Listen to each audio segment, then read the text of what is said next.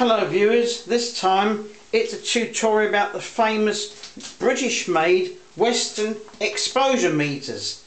Now the earliest one I have is this one here, Mark II. This is from about 1953 when I got my first decent camera. The Master II used to be about £7 something. The selenium cell which they all have is on the back here underneath this light gathering baffle. As it's a selenium cell there's no batteries required. It, it, it generates an electric current when the light hits it. So now the little needle has moved up and it goes to 6.5 which is on this scale here goes from 0.2 to 50. This is the low light scale of lumens. If we had much stronger light, we close the baffle and now it goes from 25 lumens to 1600 lumens. The um, Master 2 and Master 3, which I have down below, have a Weston exposure system for the uh, sensitivity of the film, which is one third of a stop difference from the usual American Standard Association, the ASA. In the little window here, I've set it to 320 Weston, which is the equivalent of 400 ASA. You change it by pushing down here and you have to press down there and turn it. Well, as you turn it on this old one, all the paint over 60 years has been worn away. The Master 3 has a different scale and it doesn't have any paint anymore.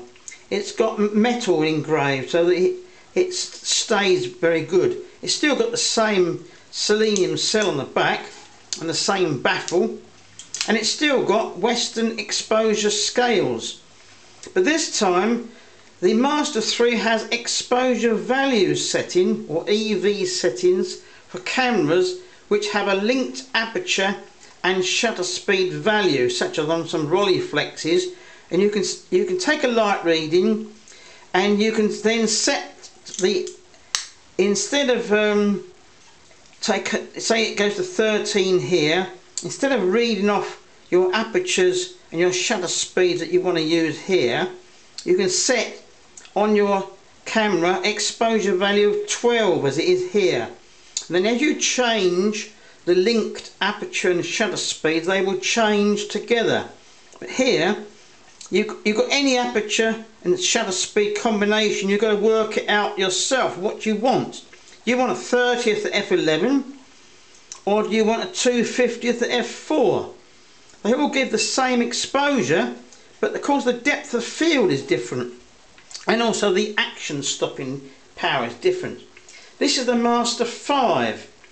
It's, again, it's got metal dials which don't wear off, but this time it has a lock on the side, and which is very good because if you are using the Invercone attachment, which I'll show you in a minute, you can lock it and you can get the reading what it says quite easily. Still got the same baffle, that's giving me a reading on this one. They've changed it now to arbitrary numbers from lumens. That says um, 8.5, 8, between 8 and 9 there. But for 400 ASA, reading there, it would give me, say, um, 30th F11, 60th 8, 250th F4. It agrees with the Master 5. The last in the line was the Euromaster. I don't know what the difference is except they put the price up.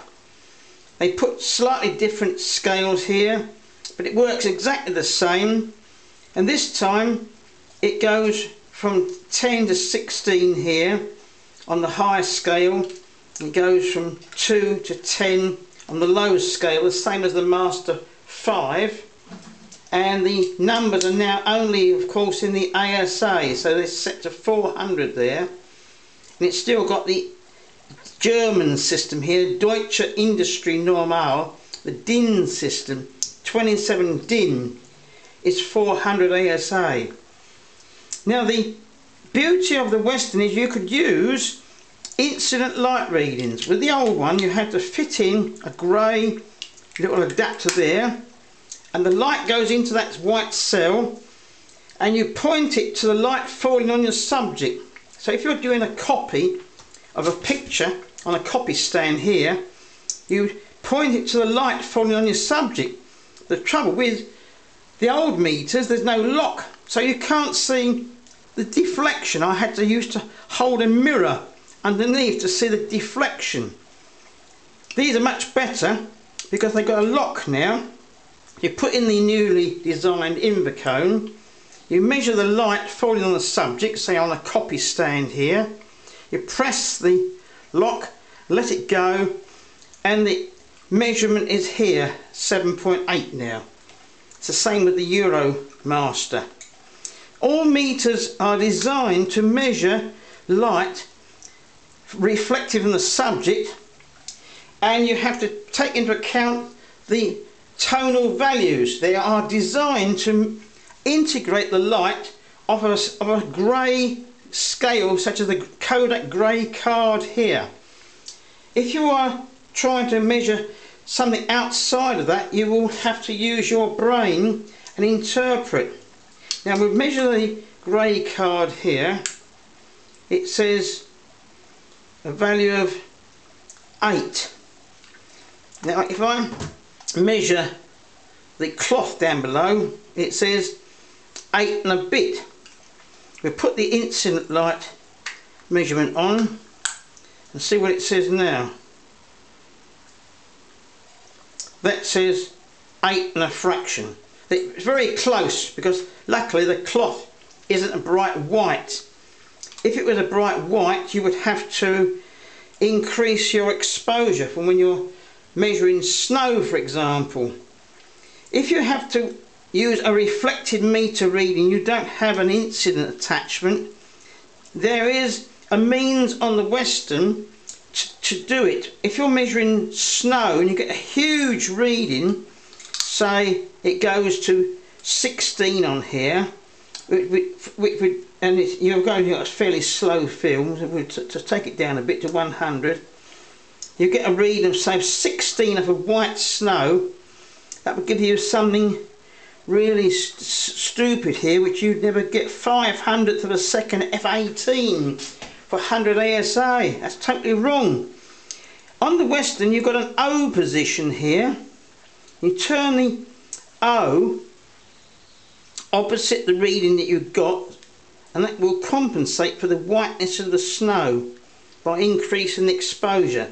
Now it says says something like here we are 250th f9 that's probably much better exposure 125th at 12.5 for a bit of white snow. That is a means of con of compensating for the whiteness of snow if you don't have an incident attachment. If you have an incident attachment like this you can point it at the light falling on the ground and it doesn't matter whether it's white snow or grey tarmac. The light falling on the subject is measured and it will give you the correct readout straight away without any problems. Well this is a very quick demonstration. Hope I've explained a few things. And try and follow me and I'll give you some more tutorials. Thank you for watching.